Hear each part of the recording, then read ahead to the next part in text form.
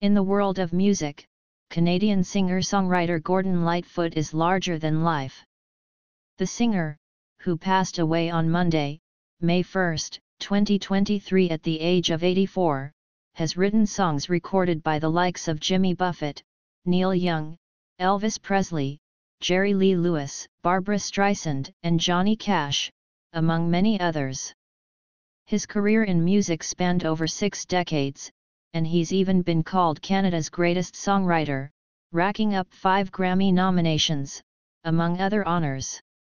He was inducted into the Canadian Country Music Hall of Fame in 2001, and into the country's Walk of Fame in 1998. But behind all the glamour, Gordon also led a successful home and family life. Over the years, he was married three times, and welcomed several children. Here's what to know about the songwriter's three spouses.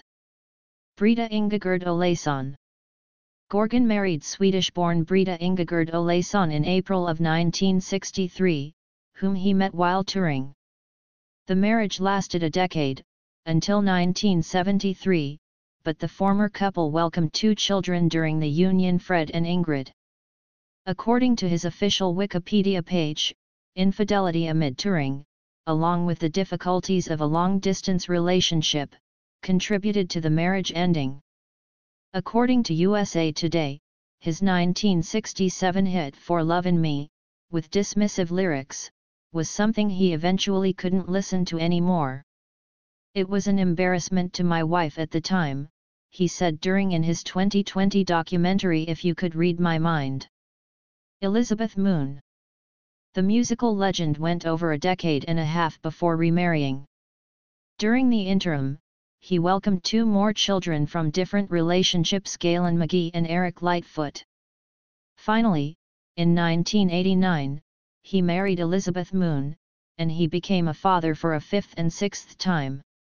Elizabeth and Gordon welcomed Meredith Moon and Miles Lightfoot during their marriage.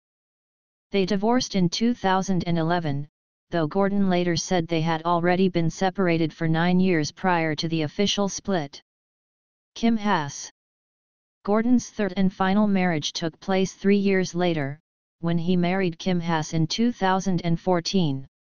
Little is known about Kim or the marriage, but they did remain together he was survived by her when he died in May of 2023.